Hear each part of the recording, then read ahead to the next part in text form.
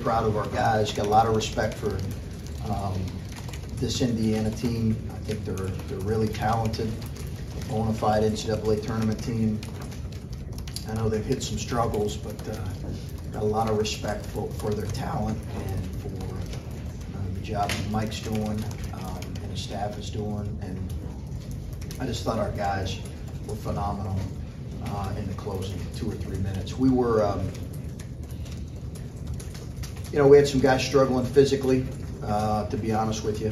And, uh, you know, their defense has something to do with it. But uh, we did have some guys struggling physically. But um, uh, 22 wasn't struggling.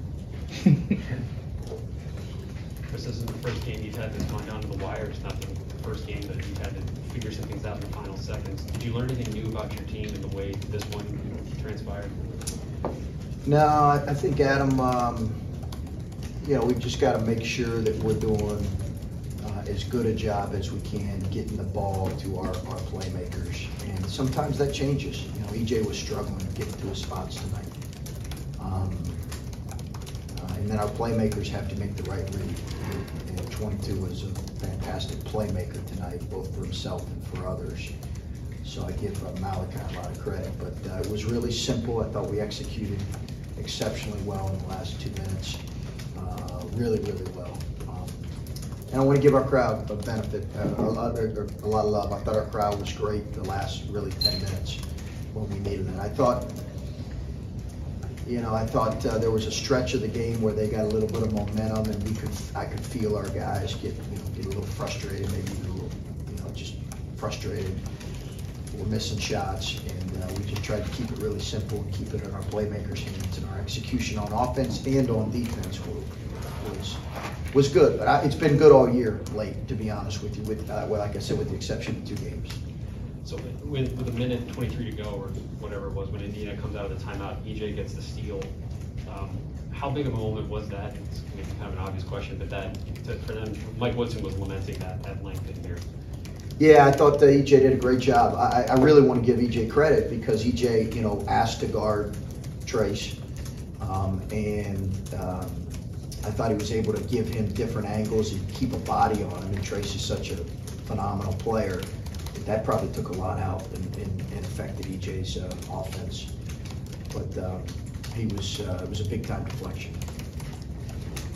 Chris, it kind of looked like you were just giving Malaki a ball screen and let him kind of go from there at the end of the game. Was that kind of the gist of it? And then, I guess, how has your comfort level in putting him in those positions kind of developed over the course of the year? Yeah, as you as you guys know, and as you know, Bill, watching us, I mean, we've evolved into that a lot here in the last month. Now we weren't that way at the beginning of the year because he wasn't, his game wasn't at that point. Still a little too fast for him. But uh, we put him in a combination of single and double ball screens, and then also ran him off some actions. It was about a combination of three or four set plays uh, that all kind of finished looking similar, um, but they were a little bit different, different variations. Um, about four, yeah, about four, four different ones. And then the baseline underneath and overtime, EJ made a great individual play. We just tried to isolate him on that side. Um, Malaki here, he said, you know, I, I try not to take bad shots, and I think that does kind of stand out about him. He just sort of knows how to get to his spots. Like Yeah. his, his level of, of sort of understanding that as a true freshman, is that elevated for guys you've been around? Uh, it is. His maturity level's elevated. I, I've said that all along. He's he's one of the most mature freshmen I've, I've ever coached. Just uh, in terms of across the board, you know, just really high maturity level. Some of that's with his IQ and feel for the game, which has really grown in the last, you know, really. I mean, if you saw us in Florida, you would say, okay, he's a completely different player. And those of you that were in Florida, you would say that right now. He is completely different. He's worked at it, he's taken coaching, and he's taken criticism, and found a way to get better, and, and uh, that's maturity, right? You know, that's maturity. That's a sign of maturity. I'm not blaming anybody else. I'm accepting accountability. I'm going to find a way to get better. I'm going to really work at it. That's just, that's a great sign of maturity. Coach, how uh, tangible was the momentum shift there at the end of regulation when you guys were in the huddle going into overtime, and what was the confidence level from, from you guys and your team at that point? Um, I, I think they were, you know, they were really confident. We were really glad we got it to overtime. You know, they, they were up four with the ball with, what, a minute twenty-three or twenty-four to go, you know? But it's still a long game. Um, we just wanted to make them earn it in the half court and, um, and then quickly get into a couple actions that we had, that we talked about in the timeout. But not, we, honestly didn't have the legs to like really push it off of, um, off of misses, you know, where, where normally I'd like to have some freedom and push it off of misses. We just didn't have the, the speed or the legs to do that, but, um, know, yeah, it was a long game, but it was, you know, coming back, that, them with the ball, you know, that, that, that didn't look great at that point. And you wanted guys other than EJ to step up, step up offensively, of course. And, and Eugene Brown had ten points for you guys Yeah. tonight. Um, how big was, was that lift? I thought Gene was great. Jamari's three was huge. He's got to look to shoot even more. Thought Meechie's uh, readiness to shoot after overtime on the three was critical. Um, so we, we needed that, but uh, yeah, Gene's play overall was, was really good for us. Um, First, the last ten seconds of regulation, I don't know, that would just seem like the best possible scenario, scenario, we got EJ and Malaki on the ball on offense, and then Jamari's the guy who's starting. Yeah. I don't know if he's drawing any better than that. Yeah, no, it was, uh, it was, um, they knew what we were running. They didn't want to call a timeout. Um, I did think about it though. You know, I, I, you're, you're thinking on the fly there. And I, I did think I was very close to calling a timeout, but I'd rather not call a timeout in that situation if we can get organized quickly enough. And I thought we did get organized quickly enough. Um, and I did love our defensive thrust after our make, uh, but I thought Jamari was really good off the ball. I just thought our awareness could have been a little bit better. And then with Malaki again, like, Bill it like, I think everybody knew he could score at this level, once he kind of figured it out. But that ability to kind of know how to score, how to do it efficiently, it doesn't, even when like he's not necessarily shooting well, he just, he just didn't make the shot that night, but it's because he's shooting a bunch of bad shots. Is that a rare skill for that age to Yeah. necessarily be able to do it, but know how to do it? Both, both. It's, he's a talented kid, and um, you know he played kind of the wing and the full foursome uh, in high school. He's really well coached, but um, maybe didn't get the, you know, I think he, we're seeing all of his kind of repertoire of ball skills, and, uh, and he's really grown in that area too. Um, he's got some guys really well coached in high school. He's got a great trainer, Jason Dawson. He's a really committed uh, kid in terms of working on his skills and uh, back, you know, back to his maturity. But he can get to his spots as well as anybody I've coached. Chris, you talked after the last game about you know when you get guys rest, but Malaki and the freshman wall. Obviously, tonight was not an opportunity to do that, but he comes through. You know when you when you have a freshman who can continue to fight through things, he said he's feeling good. You know physically as, as, as much as anyone is. Um, you know what does that do when when a young guy can do that for you? Yeah, he's uh, we we've uh, you know I, I I told you guys last after the Iowa game I played him more than I'd like to play him. I- It's not like I, I just would like to I just want to try to keep him fresh, but we've just needed every minute from him and his ability to play make and, and have ball skills and and you know make reads get to his spots. You know with our team this year, sometimes Cedric can do that. We have some other guys that can do it at times, but uh, he certainly uh, can do it at the highest level right now. And sort of a, a strange question, but is he the player he is right now? If you guys have Justice capable of, of kind of taking that role over, you know, I know it's a Um, bigger picture question, but It's a good question, but I would like to see what that was like. okay.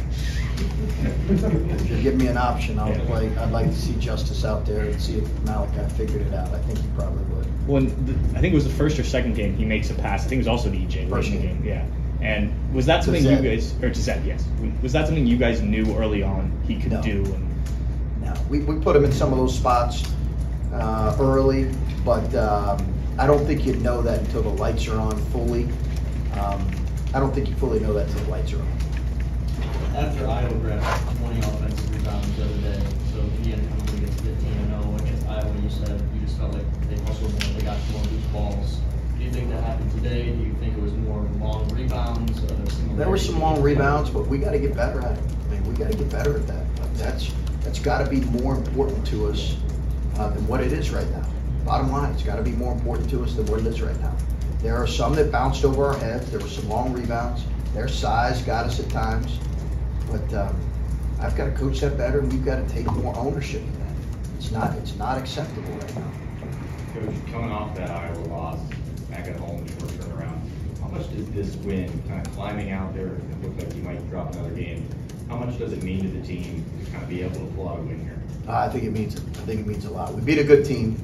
Uh, we beat a good team that had, you know, time to, I don't know what all, you know, if that's overrated, having time to prepare, but certainly they had a freshness to them. But we beat a good team. Um, I just think it's a huge, huge boost for us. I just, I just think the poise, the composure, and the grit we showed late, uh, it cannot, it just can, there cannot be enough said about that with our, with our guys. Um, There just can't, and uh, I'm super proud of them. Chris, this isn't a team that's lost back-to-back games at all this season. What has allowed, is it maturity? Is it, is it, what has allowed you guys to regroup and kind of, you know, build those? EJ, Kyle, Justin, Jamari, our, um, our captains, Justice, um, those five guys. Your captains are the ones that set the tone for that after a loss. So it's, it's those, those guys set the tone in the locker room. I didn't mean to cut you off. Those guys set the tone in the locker room after a loss.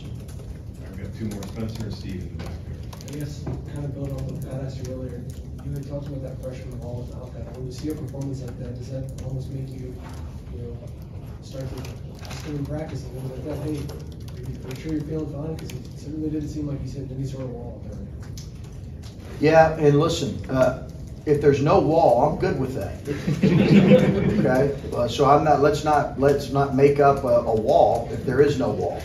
Um, uh, I'm, I'm fine with there being no wall at any time. I just am aware of the amount of minutes I'm playing a young guy with young legs. And, uh, and now we've asked him to do a lot more than what we did earlier in the year. Um, But, um, you know, and he's responded to times where he struggled. He struggled at Michigan early and uh, struggled defensively at times, guarding Brooks. And then he responded in the second half and was better on both ends. So I think we're going to continue to have those kind of moments uh, from him. He's not, he's not going to be, you know, this every night. Um, It's too much to expect of a kid, but he's been phenomenal. Yeah, all's well that ends well, obviously, but this was a little bit reminiscent of the other day when, uh, I think until that jam that Liddell had with five seconds left, I think he went twelve minutes and had one field goal, just, uh, I don't know, what were they doing over the course of that second half? After you got ahead by eleven, they. Is this the last question? So we're going to leave on this question. Okay. got- we've got more. Scrap that. Add one more question to this here. I'll answer this one. I Okay, need do- one do more that one and question. somebody come up with something better than that. Okay, no, it's not, it's a good question, it's a fair question, but I need a better one to go home on. Um, yeah, I'd have to look at it, I'd have to look at it, Steve, I, I don't know. Um, I'd have to, you know, I think we missed some shots, I think we, um, didn't play with quite enough force. Uh, but they're a good defensive team, so give them credit, they're a really good defensive team. But I did not love our execution and our pace during that stretch. Um, so I'd have to look at it. I just did not love. I, the, the, I didn't love our execution and pace. I thought we missed some open looks, um, and give their defense credit. Given given what's on the schedule next, um, I guess same, similar question comes to you now. The magnitude of this kind of win, to avoid a two-game losing streak, you know what's coming next on the road, and then another road trip after that. Yeah.